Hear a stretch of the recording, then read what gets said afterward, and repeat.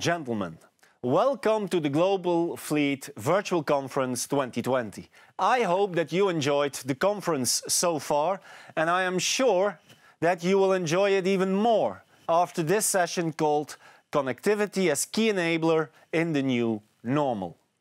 This virtual panel discussion is supported by our diamond sponsor, Octo. As you all know, the fleet and mobility industry is in full revolution. Indeed, with aggregated data being a key enabler for both innovation and fleet and mobility management optimization. The current pandemic emphasizes the need for reliable and transparent data. And going into the new normal, the trend towards more connectivity will only gain traction as it delivers efficiencies in terms of safety, cost and sustainable mobility. Indeed, this crisis shows that connectivity is vital for our society and for our industry. And to unravel how you can unlock the benefits of connectivity for your global fleet management, we have invited three top experts. Ladies and gentlemen, it's my pleasure to welcome Mr. Nicola Veratelli, CEO of Octo Group, the world-class leader in insurance, IoT and much more. Mr. Brandon Nixon, CEO of Lytx, one of the fastest growing video telematics technology companies. And finally, Neil Cawse, CEO of Geotab, the global leader in vehicle telematics and IoT connectivity. Gentlemen, welcome. It's great that you are joining our conference. I know that you have really busy schedules, so I also know that it's really great that you can share your insights with our global fleet community.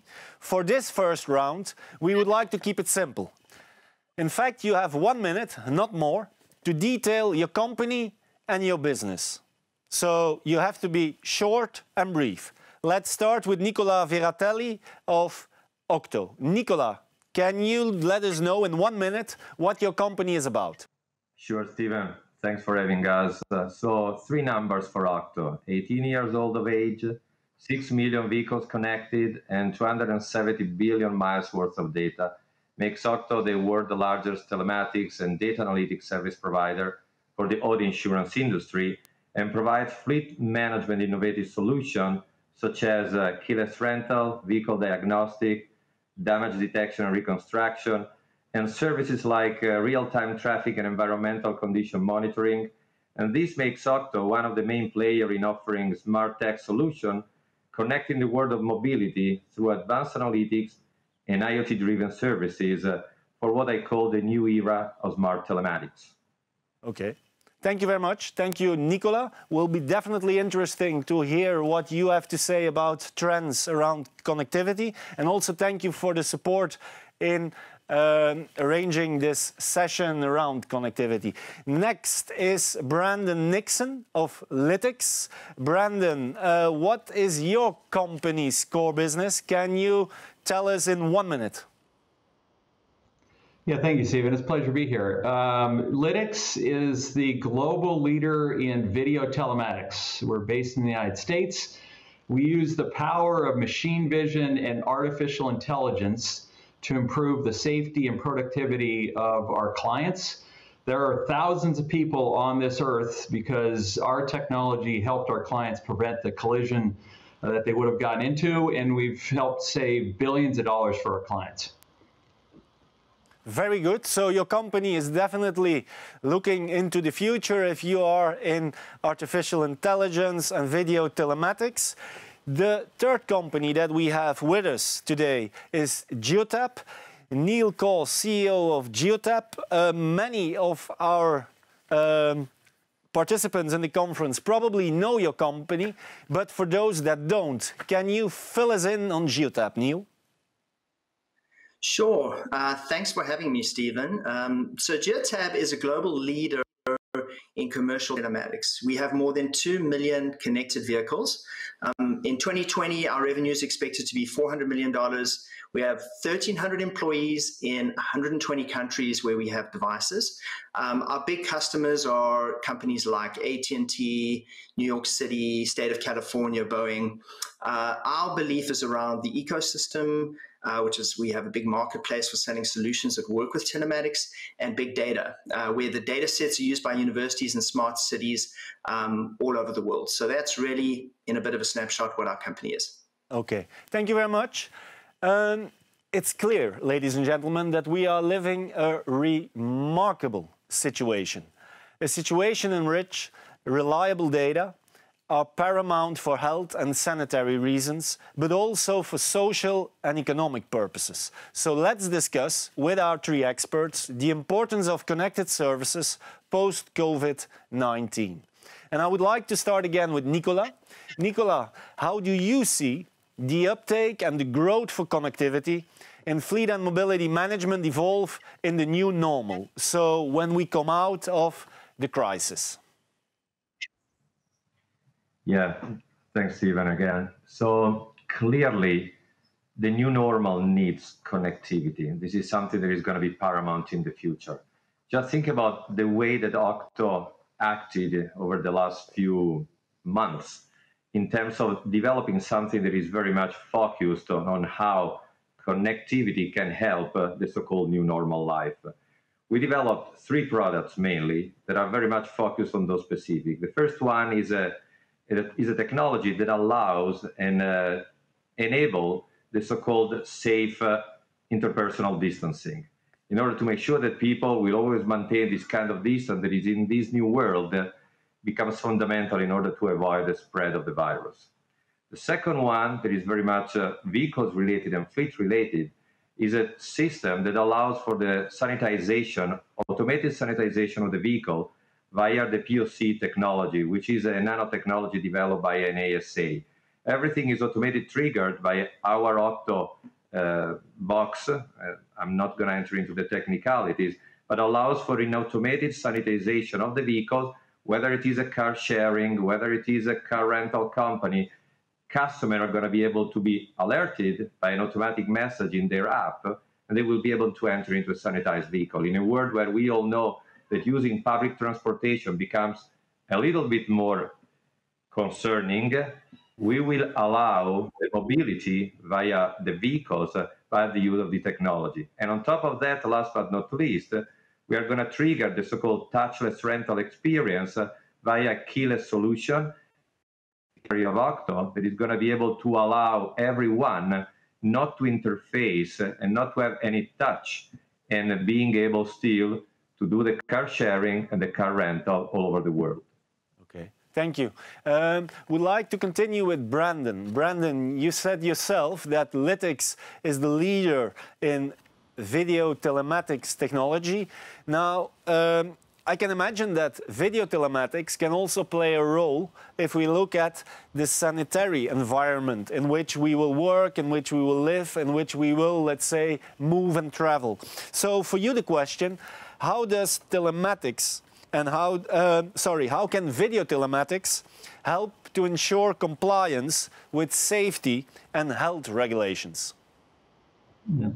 It's it's interesting. So I absolutely agree with Nicola that that connectivity to the vehicles is going to be a must. It's not going to be optional in the future because it's just having the visibility into what's going on in the vehicles as they move around the world is paramount.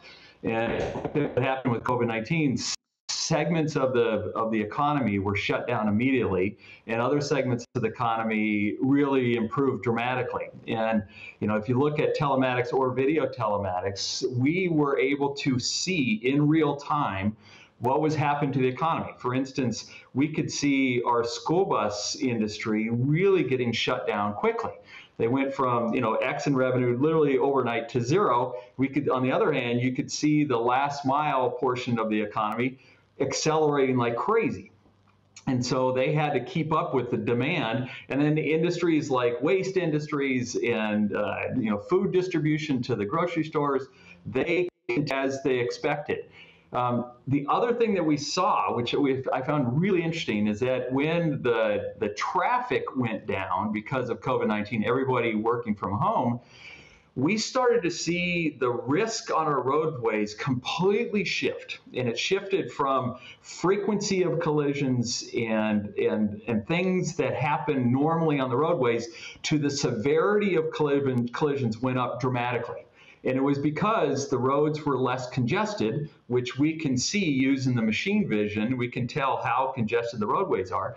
We could see that the roadways are being less, therefore, people are speeding Therefore, the collisions that, that the commercial vehicles would get into were more severe. And so we were able to uh, help our clients understand that the risks were shifting and the drivers had to take a different pattern to, to be able to reduce their claims. Okay, thank you very much. Neil, um, there was already the mentioning about uh, tracing apps. Um, how do you think that telematics companies look at those tracing apps? And do they have really a role to play um, you think also coming out of this crisis? Yeah. So it's interesting. I mean, people do value their privacy, right? And contact tracing, you know, as part of the understanding of, of contacts with COVID so that you can trace people's activity and you can help mitigate um, is a big deal. And obviously, many of the vehicles that we talk about today have uh, telematics built into them. And so the question becomes if we know who the driver is and we've got driver identification, don't we already have some form of contact tracing on the commercial side? And, and absolutely. I mean, I think, you know, the question is, is simply one of not whether we can do it and not even whether the data is available. It's a question of, you know, our willingness to trade and give up the data. And so you know, for example, if you know society turned out to be willing to allow Geotab to provide its data to the authorities to do some form of contact tracing, you know, we, we could obviously do that, um, but it has to be off the back of everybody agreeing that this is the way that they want to go and what they need to do. Um, you know, I think you need when you do contact tracing not just to have one form, which is my phone. Uh, we all mm-hmm. know that people can track on their phone, the problem is phones are not very accurate. You know, the, the tracking, the GPS tracking in your phone when you may be doing a route can be turned on to be very accurate, but generally it's inaccurate, right? It's using cell phone triangulation and Wi-Fi hotspot data. And so you need to supplement it with all these extra sources. So we're ready and able, and I'm sure, you know, uh, the same with, with, with um, the other folks, Nicola and Brandon, that we would provide that data to the authorities in the event that it's needed. Mm. Um, you were mentioning, Neil, that you are ready, but now it's also up, let's say, to the community itself, willing to share their data. Um, how can we unblock that situation? Because we can see, let's say, the advantages of sharing the data, but apparently not everyone is ready. So, what can we do as an industry to make sure that we are going to share more and more data? Yeah, it's a tough problem to solve because it really boils down to one of trust. I think everybody understands the benefits of contact tracing and the sharing of this data. And, and interestingly enough, this doesn't just apply to contact tracing. This applies to telematics data in general, right? We, we have this, we we fight this battle where we know, for example, where the dangerous, where the places are that people speed. But who wants to be the one that's giving up their data so that they can get caught in the speeding trap, right? We know it's better for society that we, we're safer on the roads. So I mean, I think it's a general problem. And part of the problem is that, you know, contact tracing, the danger comes in with governments, right? I, I, thought about this the other day. Like, you should be able to trust your government. But if you think about it, that's the one, you know, kind of body that really shouldn't have access to this data in the sense of, oh, well, if I know that you are voting for that party and you congregating together and all the visions and nightmares of World War II and kind of, you know, uh, dictatorial control comes out. Um, so in a way, you almost have to find a third party that can be absolutely trusted um, to do that. And right now, today, the honest truth is that companies like Google and Apple are de facto those trusted partners. They know everything about what our cell phones do, whether we turn it on or not, um, which is an interesting privacy debate. But I, feel like you know they might might actually be the best avenues for us to get to some form of contact tracing uh, that way. Okay. Um, final question on this topic, how to come out, let's say, of COVID-19 and go into the new normal. We see, of course, that for many businesses, it has been a challenge. Uh, it still is a challenge um, that businesses were down. Uh, Nicola, do you think that in the IoT and telematics business, there will be a further consolidation of the market? Well, that's something that is definitely possible, Stephen. Uh, you know, the, the IoT and telematics arena is pretty much fragmented compared with very many other industry segments. So it's something that could occur. In addition to that, uh, as I said, uh, and as, as, the other two guys just said, uh, connectivity is going to become the way it works. It is, is no longer an option. And if you think about the way that connectivity helps fleet management company today in terms of efficiency, utilization improvement, so P&L impact, and last but not least, revenue growth, because just the utilization of the keyless solution, for example, is allowing a company in the sharing and in the car rental to be able to be effective 24 7. While in the old past, you know that there were timing when the office was open between 8 to 5 or whatever. So connectivity is going to be the enabler to make money in the future in everything that is related to fleet management. So, as a matter of fact, it needs to become more and more competitive in terms of pricing. And that's why, very likely, we will see action that will allow stronger synergy, stronger interaction, that will reduce also the cost, and will allow those companies to be able to continuously add value added services in terms of analytics, especially that are necessary to make sure that this organization and this connected world will strive toward the success of the future. Okay, thank you very much. Um, the pandemic, ladies and gentlemen, has accelerated the focus on employee well-being. Within this context fits the recent trend to fleet electrification and also new mobility management. So let's discuss with our experts how connectivity supports smart mobility and fleet electrification.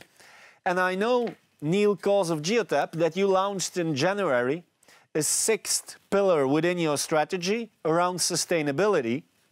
So the question for you is, going into the new normal, do you expect really an exponential growth in EV adoption and new mobility within multinational companies?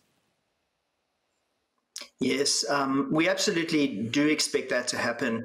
Obviously, there's some very real challenges around electric vehicle adoption. We understand that the fueling takes a very long time. We understand that um, there's range anxiety and people have existing vehicles that they need to take advantage of.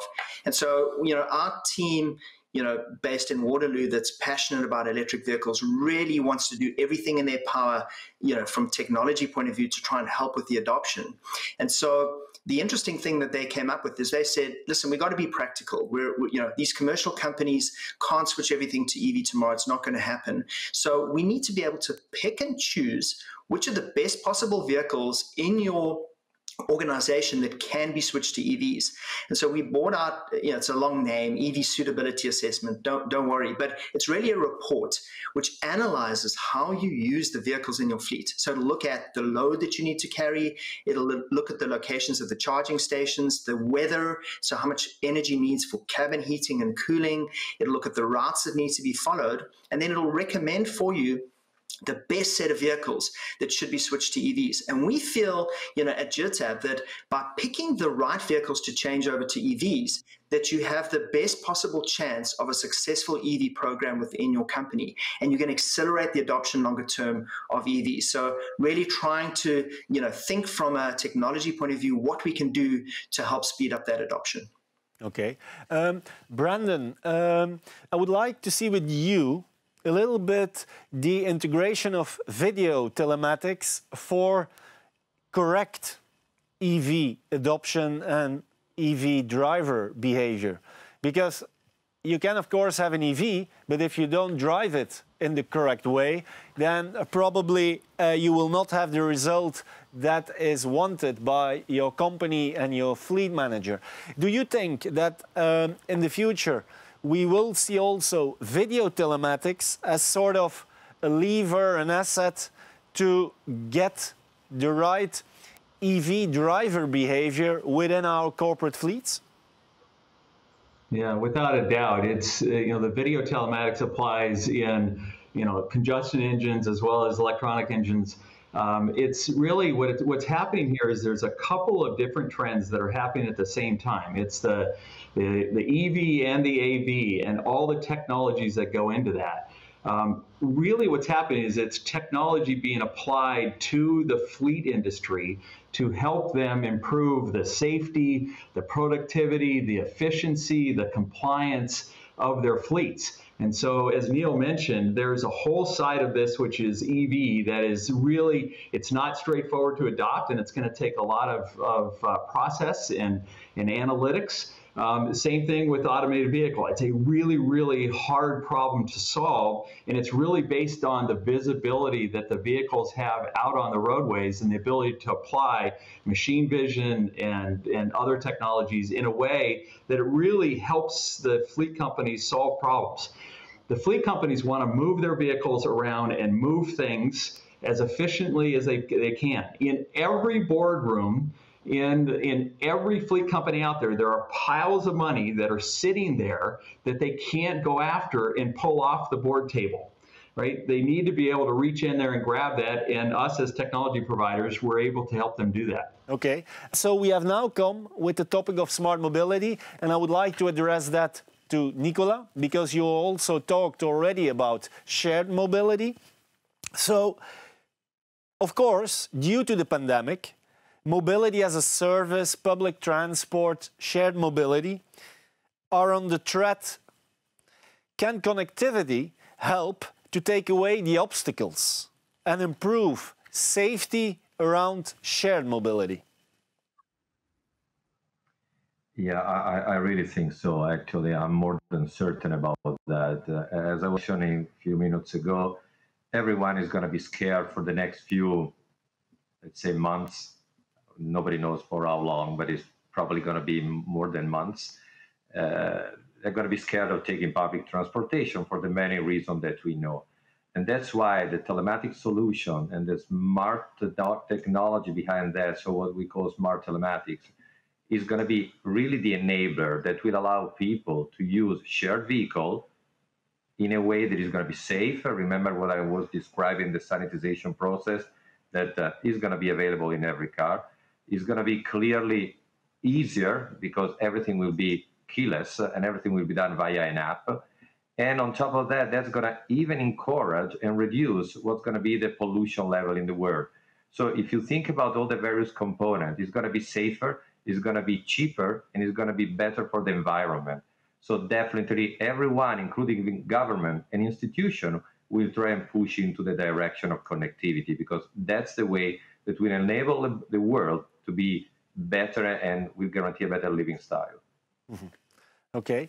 Neil, um, you talked about electrification. We are talking about electrification and mobility. Um, do you think that um, telematics can also be useful to optimize routes for EVs and predict, let's say, the best time and place to charge with probably the availability for public chargers and so on. Where do you think that telematics is today and where need it to go tomorrow? Yes, um, so I do think that we have a big opportunity with telematics and on the EV side, and I'll tell you why. Because right now, the other side of the plug, if you like, is the charger infrastructure, and that charger is built by a whole host of companies and it's very, very fragmented. We don't really have a lot of control over identifying which vehicles are plugged into which chargers, when, who's authorized to do so. So you have another way of looking at it, and that is from the vehicle point of view. So if you have telematics in the vehicle, and the vehicle can identify where it is when it's charged. It can identify which type of charger it's plugged into. We have a fantastic opportunity to pull it from the vehicle side and to aggregate the data together and then start exposing, for example, which chargers are not working, which ones are full and we don't have access to, where are the charging locations, which are the high speed chargers versus the low speed chargers. And I think that that is a wonderful opportunity to help speed the adoption of electric vehicles. But it will take collaboration from everybody. We need to come together. We don't want to have to rely on the European Union or you know somebody else to force standards and to force us to come and work together. It would be nice if we could all get together and say, let's put this towards the common good to be able to create um, these data sets to make it available to companies to so, so, that we can help speed the adoption by showing where people should charge and when they should charge. So yeah, I mean, I think there's a there's a wonderful opportunity there to do that. Okay, thank you. Uh, ladies and gentlemen, of course, we don't have a crystal ball, but with three sharp minds in this panel, it can't be too difficult to predict what the future will be looking like. And for sure, it will be an exciting future with artificial intelligence, autonomous, and other new developments that could benefit global fleet management and your fleet. So, Brandon, why is artificial intelligence, and you have already underlined it several times, why is artificial intelligence so important for global fleet management in the future? And why shouldn't we be afraid of the development around artificial intelligence? So we revolutionized video telematics about uh, six years ago when we added machine vision and artificial intelligence to the cameras that were installed in the vehicles. And the reason that was so important was that um, before that, the cameras were just used to capture uh, the video, and then the video is used to, to help the driver get better when you add machine vision and artificial intelligence directly onto the device at the edge, now that device can actually see. It's not just about capturing the, the video, it's literally that device can see. It can help the driver be better. It can alert manager when certain things happen. So let's say a driver picks up a cell phone. The device can actually see the cell phone wait for some period of time that's that's uh, you know based on what the, the clients want alert the driver with some escalating you know response. And then if that driver doesn't respond from those alerts they can you know they can now alert the manager that hey you have a driver out there that's got a cell phone in the hand right now going 65 miles an hour down a freeway. Right? That's the way we can make things better. Well that technology can be applied to anything and I agree completely with Nicola that the, there is going to be a con- continued consolidation in this industry, not only because there's economies of scale to being the leaders, and you've got the three leaders in, in the global industry on the, on the call here, um, but there's also data economies of scale. So with artificial intelligence, you need mass amount of data to be able to train the algorithms to do what you want them to do. And given we are the leaders, we have the most data. We can train our algorithms to do literally anything a global fleet manager wants to know out at the edge. We can train the algorithms to look at. So, do you want to know if your drivers have food and drink? Do you want to know if your seatbelts are on? Do you want to know what the congestion on the roadways? Do you want to know if there's uh, uh, wildlife in the areas? Do you want to know if there's pedestrians, scooters, red lights, stop signs? All that stuff is visible by the cameras because of the machine vision and artificial intelligence that's installed on them.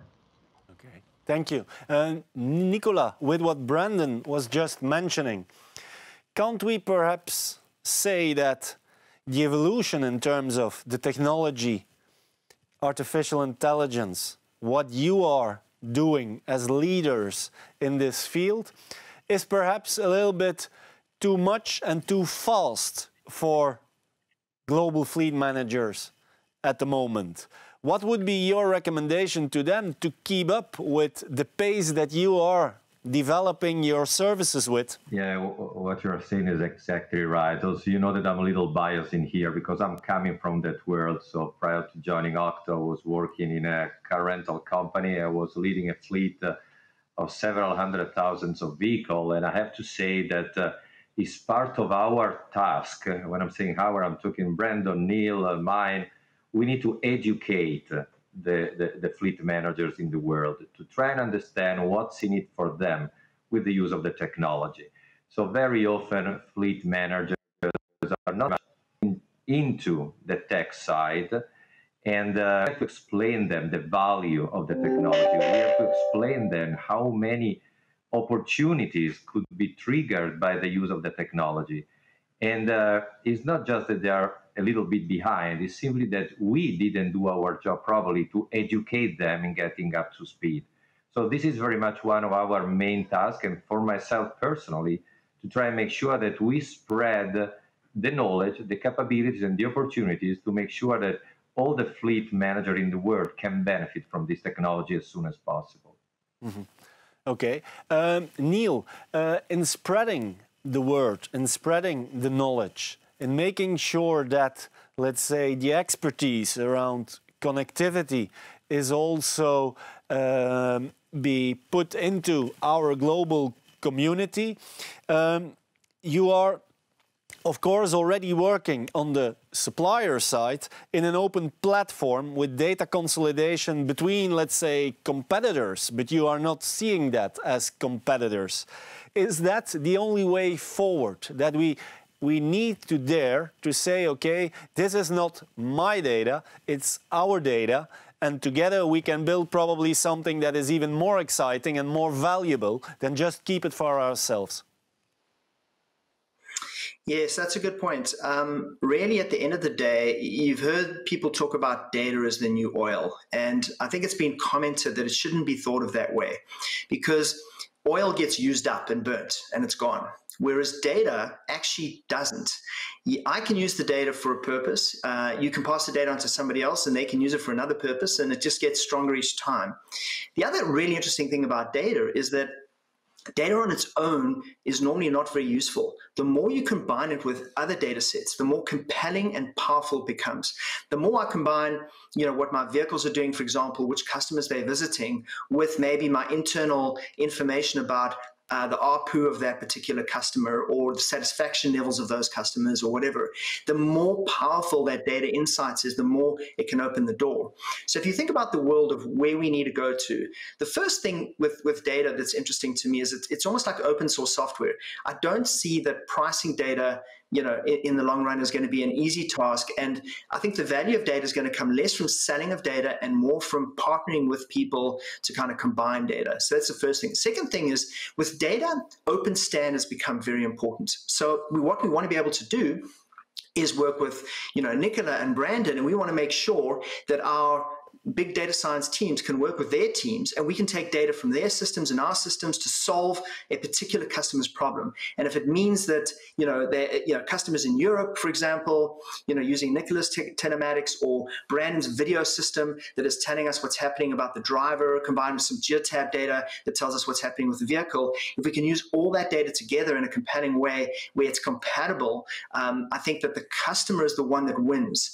And so we need to make sure that customers have the ability to take some of mine, take some of his, take some of somebody else's, and mix it all together. And open standards are the key way that we're going to get towards that. And I think that you know everybody would agree that we need to it, it, we have to work hard to make open standards, and it is in the long run beneficial for everybody. And so we feel strongly about that, and I'm sure you know the, the other two folks do too. Um, and it is uh, open standards will win at the end of the day.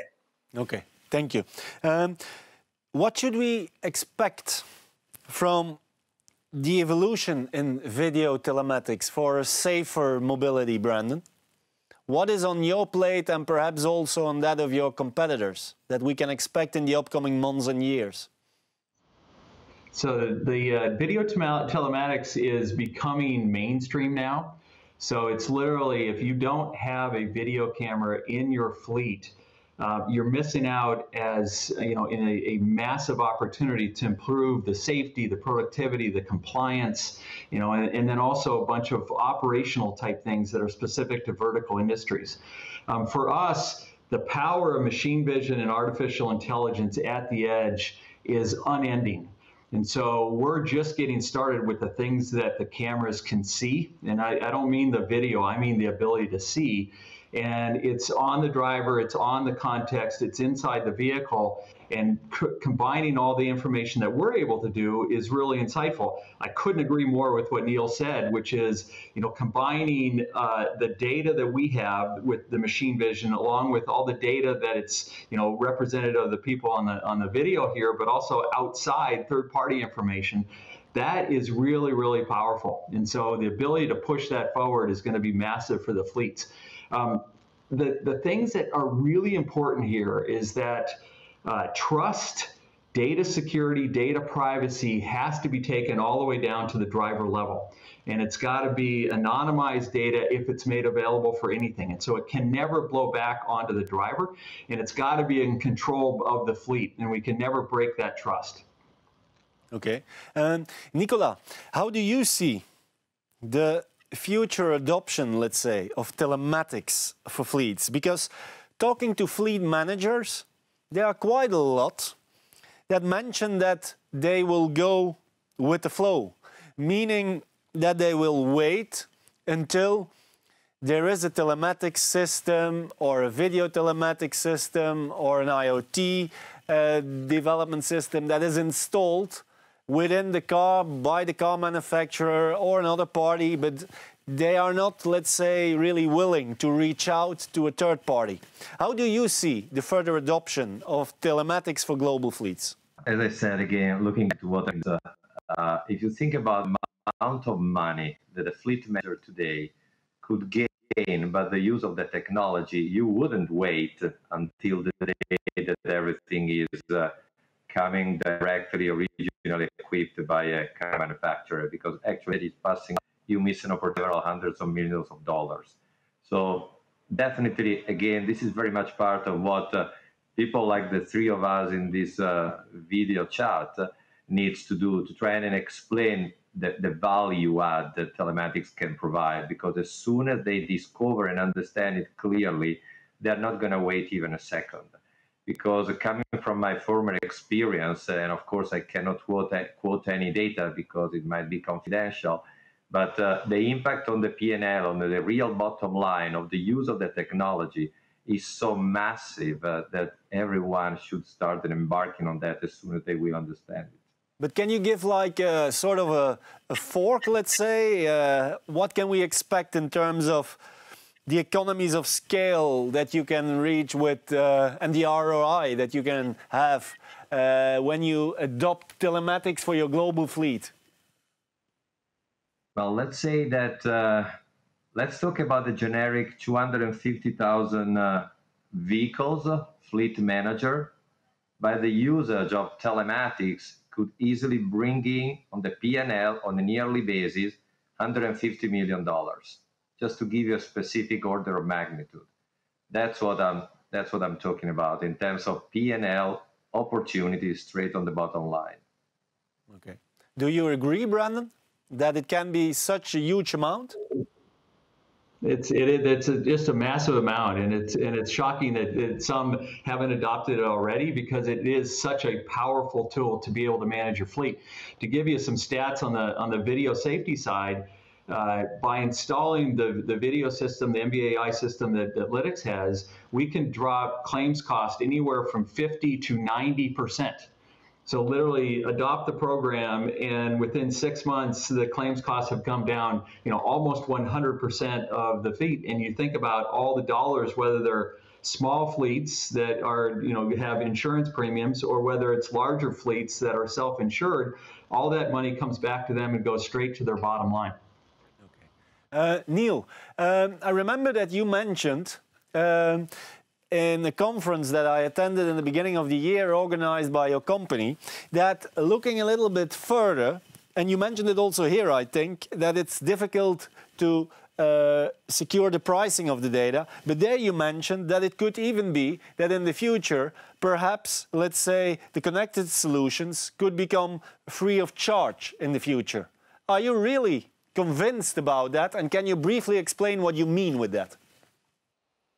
Sure. So today, if you uh, use email, if you go back 10 years, you had to pay for your email. And then Gmail and Hotmail came out, and everybody had free email.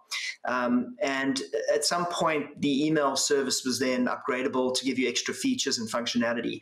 And I very, very much expect that that is happening already and it's starting to happen and will eventually, maybe in five years' time, be the way. Uh, I expect that in five years, you will be able to get a basic telematics service for absolutely free. And, and why? A couple of reasons. So, one is uh, remember that the automakers are connecting their vehicles. So every new vehicle being sold today is coming connected. Now, automakers will charge a company like Geotab or Octo um, to uh, access the data and they'll charge us a fee where we can pull the data. But the point is, they are connected anyway. So they are receiving the data for their own purposes to build better vehicles. So it is a sunk cost and it is there. Right, that's the first thing. Second thing is the processing costs for all the stuff are dropping enormously. Um, even today, you know, it's not very expensive to actually run a telematics system. So the natural evolution of this in a competitive sense is that you will be able to get this free service, which will give you some basic data and will kind of show you the art of the possible. And then we expect um, the upsell opportunities to offer some more advanced analytics and extra services on top of it. And some of that will be paid for by the value of the data. Now, I absolutely concur with, with Brandon when he said earlier that privacy and respect for people's data is critical. You cannot be using telematics and find that that in any way prejudices you, you know, somewhere in the future. You know, the data goes to your competitor or it's used to harm you in some way. And we really believe that. But there is so much good if you are careful and diligent about data. There's so much good that can come from building smart cities of the future from building better roads, from making pedestrian intersections safer, from making our cars safer, from making our, our whole uh, economic system more productive, that we cannot afford not to use this data and collaborate on this data. And that data is going to be valuable. If you can change economies and improve, you know, even by, by three or four percent, the way that fleets operate. That is billions, tens of billions of dollars in the international economy. And so that is worth a lot of money. And that money must return in some way, shape, or form to the people that are buying the vehicles. And so I would expect some kind of freemium model ultimately to happen on, on that side. Okay, thank you very much. Um, gentlemen, thank you. Thank you for this engaging this discussion and this panel discussion. Nicola Veratelli, CEO of Octo, Neil Cawse of Geotab, and Brandon Nixon of Lytx. Thank you for your presence and your commitment. It was a pleasure hosting this panel, and I'm sure that also our audience has received extremely valuable insights. And you, ladies and gentlemen, watching this discussion, I invite you to rate this session give your feedback in our event app Attendify, where you can also see what's on our agenda for next week, and you see it on the screen. And of course, thank you to our experts and to our diamond sponsor, Octo Group, who supports us for this particular session. It was a pleasure being your moderator, and I wish you a safe and healthy global fleet journey. Bye-bye.